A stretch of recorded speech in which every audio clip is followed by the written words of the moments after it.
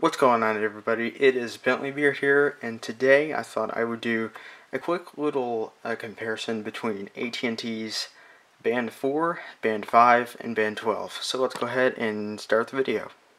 Alright, so I went ahead and I put the AT&T SIM card inside the Galaxy. So we'll go ahead and we'll go to the menu where you can change the band numbers.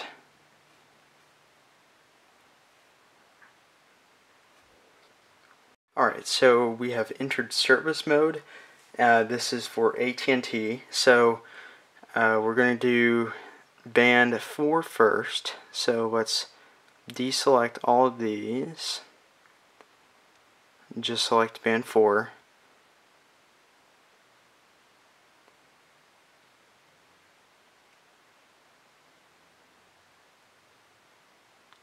Back, back, back one more time, apply. Okay, so down here, see where it says LTE? It says 4. So now it's only on LTE band 4. Um, so let's go ahead and launch the speed test application. As you can see, service is very bad. We're getting about one bar of LTE Okay, so let me make sure I have my correct server on here and see what it'll get on about one bar of uh, LTE on band 4.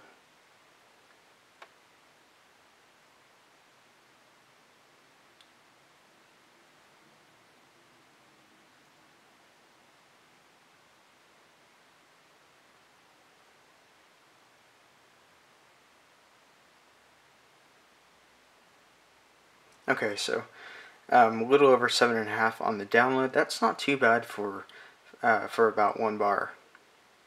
And then the upload is where it's going to struggle here on band 4. Yeah, 0.23 on the upload.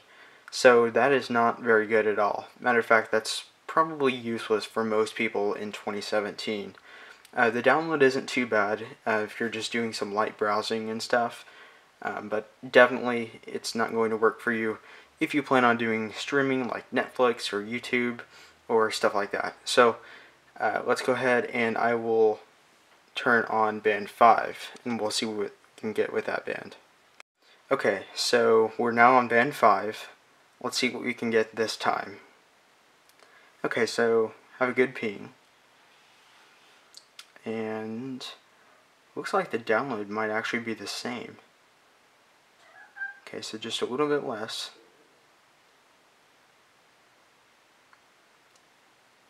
And then the upload is much better. Okay, so now I'm going to go to band 17 and we'll see what we can get with that. Okay, so now we're on band 17, or actually, let's explain this for a little bit. So, AT&T has basically reframed their band 17 to be band 12. So instead of it being referred to as band 17 now, it's band 12. Still the same frequencies and everything, but it's just a different band number. So uh, this should be the fastest of them all. It might not be. We'll, we'll just have to see. Okay, yeah, I was definitely wrong. So and uh, throughout this video I might have said band 12, I might have said band 17, I actually meant band 12.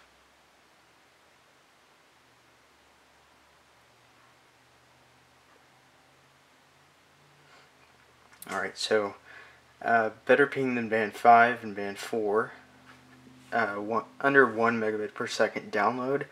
Um, that's like 3G. That's like Verizon or Sprint 3G service. The upload is pretty good. Um, not as good as Band 5, but pretty good. Alright guys, that's all for this video. If you liked it, make sure you leave a thumbs up.